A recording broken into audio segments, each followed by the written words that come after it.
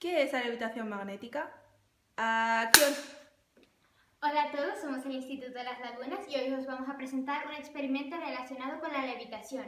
Primero que todo, ¿qué es la levitación? Es la flotación en el aire de un cuerpo producido eh, por la fuerza gravitatoria contrarrestada por la fuerza magnética, produciéndose un equilibrio de fuerzas, lo que quiere decir que la fuerza total es cero. Muy bien.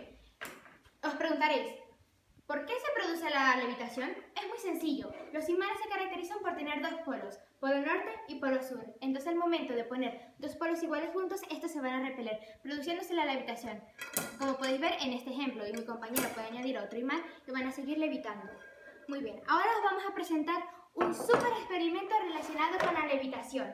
Para este necesitamos una plataforma electromagnética y un imán, que al momento de ser introducido en esta plataforma podemos darnos cuenta de que levita.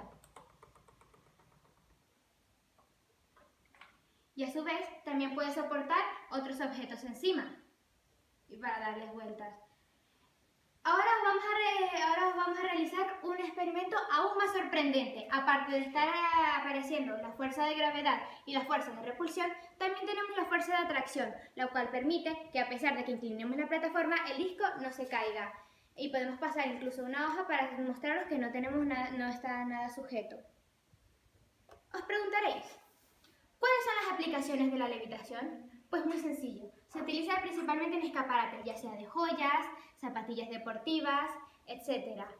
Por lo menos tenemos en un ejemplo, una curiosidad sería que el tren maglev en Shanghái, China, puede alcanzar los 430 km por hora y utiliza este principio de la levitación. De verdad, esperamos que os haya gustado el experimento tanto como nosotras. ¡Hasta la próxima! ¡Corten!